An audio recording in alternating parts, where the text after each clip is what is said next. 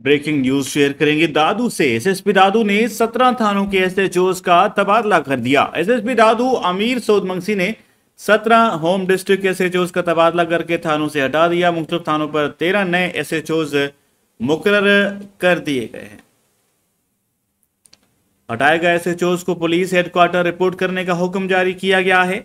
हटाए गए home district SHOs में अली बख्श पिताफी हजूर बख्श इंगोरो रमतुल्ला मेमुन सजाद जमाली खादम हुसैन शाह अहमद बख्श बिरोही समेत दीगर भी शामिल हैं मुख्तलिफ़ थानों पर नए तैनात एस एच ओज में इंस्पेक्टर मुश्ताक आलमानी, इम्तियाज़ शाह, खैर मोहम्मद गुलजार, खुश्क इंस्पेक्टर अल्लाह बचाओ समेत दीगर भी शामिल हैं।